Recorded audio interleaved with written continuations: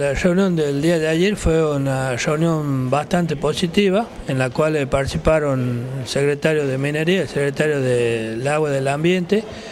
y eh, diputados tanto del oficialismo como también así de la oposición, lo mismo que de senadores donde se hizo la convocatoria.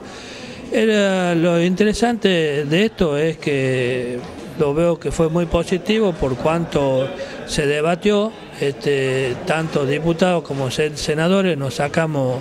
bastante duras sobre el tratamiento de la ley de glaciales para la provincia de Catamarca, que es algo que la provincia lo está necesitando con suma urgencia y eh, hemos tomado, digamos, algunas sugerencias. Eh, desgraciadamente en el debate de la mañana, como le dije, fue muy positivo, cosa que no hemos podido seguir avanzando durante la tarde como teníamos previsto las dos cámaras en conjunto, ya que algunos diputados habían manifestado que ellos habían participado eh, sin tener, digamos, sin la representación del bloque al cual representan, sino como diputados porque le interesaba el tema. Eh, el Senado eh, siguió debatiéndolo al tema a partir de las 19 horas estuvimos hasta tarde y este, ya hemos tomado, digamos, algunas sugerencias que se habían realizado, tanto de diputados como algunas sugerencias de algún senador en la reunión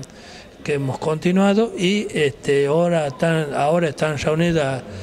las dos comisiones en las cuales está el proyecto y es muy factible que se le dé despacho en el día de la fecha. Eh, hay, si se quiere, un, apuro en el buen sentido del, término para que la ley tenga tal vez aprobación antes de que se apruebe la ley que hay en el Congreso de la Nación para tener esta, esta anticipación, digamos, a, los presupuestos mínimos que, establezca la ley nacional. Sí, diríamos, eh, nosotros eh, hubo reuniones por parte de los ejecutivos de las provincias andinas, a las cuales son muy desfavorable el tema de la ley nacional sobre el tema de los glaciares, nos perjudica mucho porque es donde hay una total prohibición sobre el tema minero. Entonces los poderes ejecutivos de las provincias andinas han resuelto eh, hacer eh, una ley provincial, digamos, eh, salvando los intereses de la provincia y también eh, en esto se coincide que la potestad de dar las normas, digamos, para el medio ambiente que está establecido por la Constitución Nacional, eh, según el artículo 124, es potestad de las provincias determinar su propia norma. ¿Podría tener estado parlamentario mañana el proyecto?